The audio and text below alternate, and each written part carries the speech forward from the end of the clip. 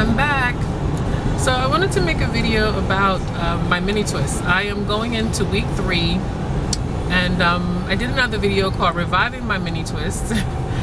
and one thing I just wanted to put out there because I've seen this with my twists. They started out one way and they're ending up another way. But the thing is, I love, I've, I love the way that they started. Kind of got discouraged when they got wet and a little frizzy, but I revived them. And uh, one of the products that I need to show you guys, which I'll probably pop in here, is the um, the Hawaiian Silky 14 in 1 Miracle Worker that I use. And it, uh, I cannot tell you the wonders that this stuff did. It just like, it, my hair is still frizzy because my hair is my hair. And you know what? I love the frizz, but it also gave it some definition. It, it um, enhanced my curl pattern. Okay, now it doesn't necessarily, um, products, doesn't have holding products in it. And so that's not one of the features, but it does uh, moisten it and allow it somehow to bring out my natural curl pattern.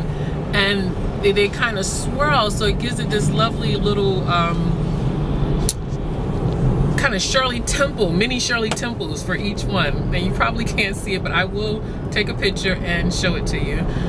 And so I just want to say, love your hair at its different stages. Even if it's in a different pattern and it starts out one way and it ends up another way, work with it, learn it, love it.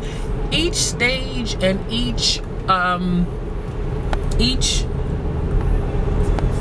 new style because that's what it turns into literally a new style i i mean they're mini twists but at first they were stretched uh, then they were more of um, before i revived them uh, with the gel and the Miracle 4-in-1, they were like uh, Afro twists.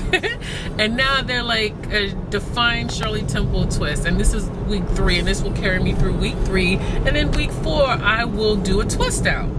So yeah, just love your hair in its different stages, even if it's the same style. Don't think that the style is messed up um, because you can work with it. That's one of the great and wonderful things about having natural hair is that you can work with it. Styles out of nothing, you know? So, love your hair in its stages. All right, peace and blessings.